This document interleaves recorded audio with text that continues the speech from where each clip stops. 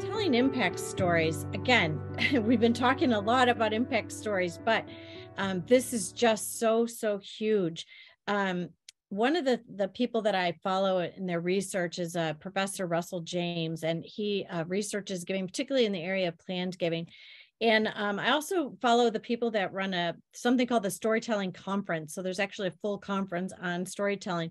But both of them seem to agree about the point that one of the things that really compels donors is if you tell the story and allow the donor to actually finish the story. So you mm. you set up a proposition and then the donor begins to see him or herself in that setting and the donor becomes the hero of the story by completing that story.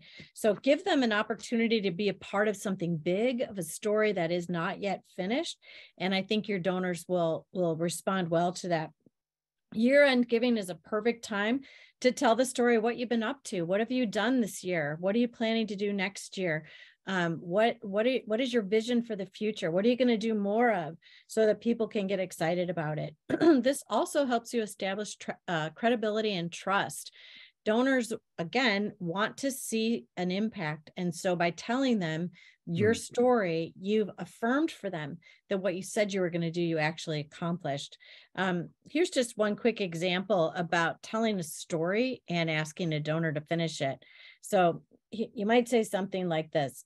For the past nine years, it has been our privilege to fill backpacks with weekend meals for 79 children at the elementary school. It costs $144 to feed each child during the year. Beginning this September, we're expanding this ministry to another elementary school where 64 identified children are at risk of going hungry if we don't act. Please ask God how you are able to respond to God's goodness in your life and the needs of these at risk children. Hmm. So you've told the story, you've given them some context, some, some numerical facts that enables them to understand the impact that they can have.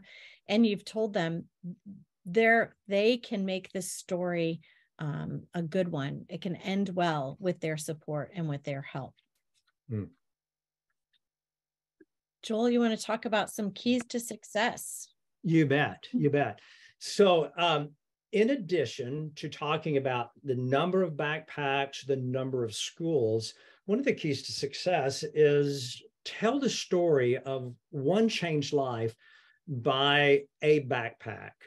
If you're talking about how many children may have attended children's camp in your church or how many teenagers were a part of the disciple now weekend those data points are important to show you know quantity and to to kind of give some metrics around the number.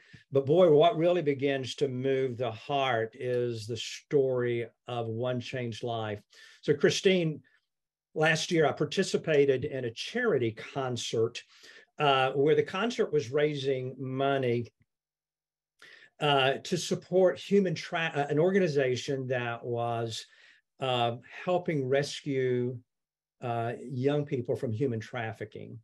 And so, in the intermission, uh, the executive director had a number of slides with data, metrics, where North Carolina stood in relation to the rest of the states in, in the United States, and then particularly in North Carolina, where we live, what were the hot spots um, in, in cities? And a lot of important and significant information, but I wasn't inspired.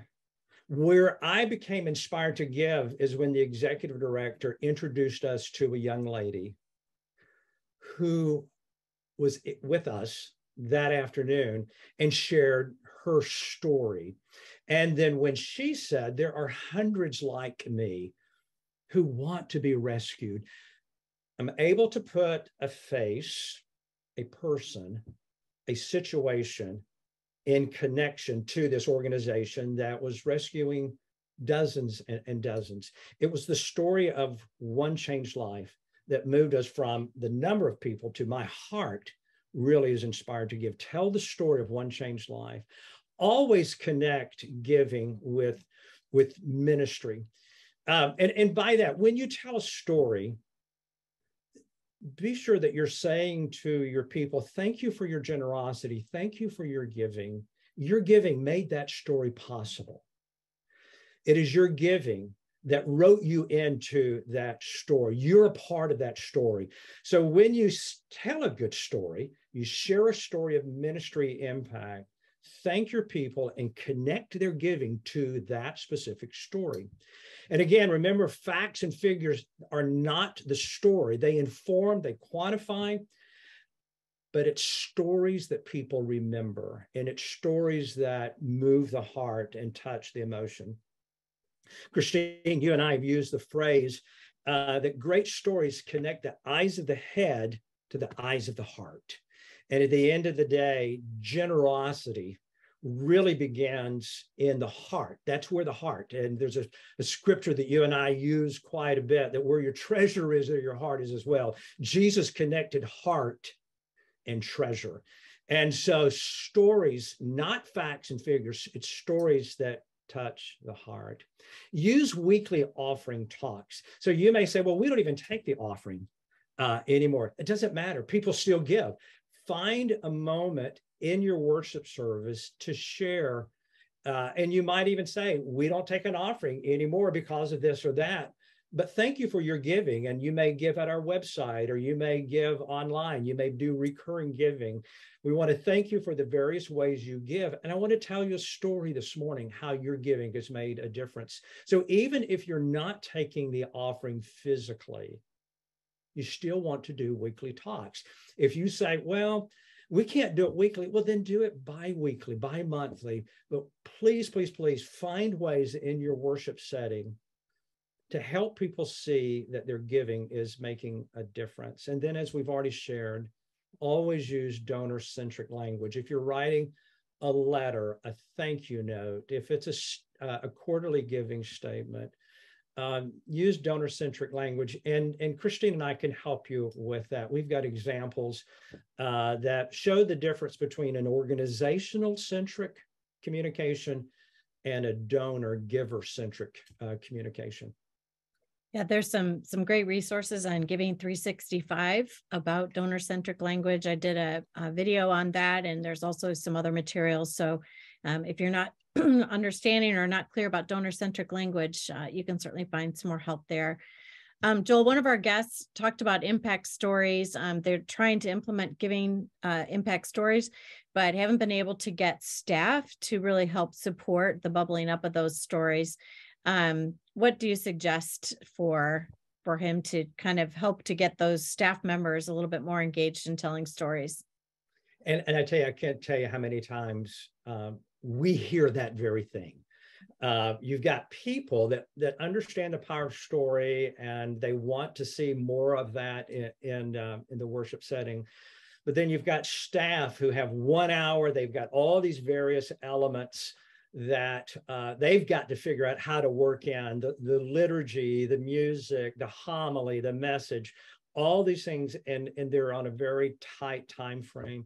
So I think I think number one, don't give up, don't give up, and then look for ways to help them see how it can be done in a way that is not going to take a lot of time. A good giving story is you know 45 seconds to a minute and then help them see, if you can, how these stories will impact giving, that ultimately will impact their ministries, which will ultimately then impact the church at large. So you have to sometimes connect the dots for them.